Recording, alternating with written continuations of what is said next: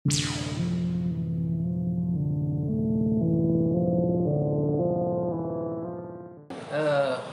karena kaitannya dengan perkara tidak pidana yang ancaman pidananya 9 tahun atau lebih ini kan yang dakwaan kepada Ferdi Sambo dan kawan-kawan baik itu perkara eh, OJ-nya maupun perkara 340-nya itu kan ancaman pidananya di atas eh, 9 tahun. Artinya dasar eh, perpanjangan pen- eh, permohonan penjang- perpanjangan ke pengadilan tinggi itu eh, pasal 29 ayat 1 dan ayat 2 UHAP ya.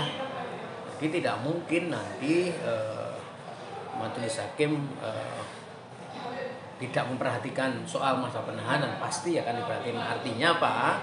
Nanti ketika tanggal sebelum tanggal 9 Januari 2023 pasti majelis hakim akan mengajukan permohonan perpanjangan pengadilan tinggi Untuk Ferdi Sambo ini rencananya akan diajukan berapa hari Pak? 90 hari atau 60 hari untuk? Apanya? Oh, kalau ketentuannya kan harus eh, 30 hari dulu. 30 hari dulu nanti ke pengadilan tinggi. Kalau 30 hari juga belum eh, apa selesai perpanjangan yang kedua.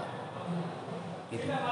Siap. Berarti untuk nantinya hingga Februari tanggal 9 ya Pak? Masa penahanannya Ferdi Sambo 30 hari berarti tanggal 9 Februari ya Pak ya silahkan dihitung artinya kan eh, 9 eh, Januari selesai hmm. Nah, kemudian kan perpanjangan tanggal 10 Januari sampai tambah sampai 30 hari ke depan kan siap siap 30 hari ke depan habis nanti 30 hari lagi kemungkinan sekitar tanggal 12 Maret gitu. Ya.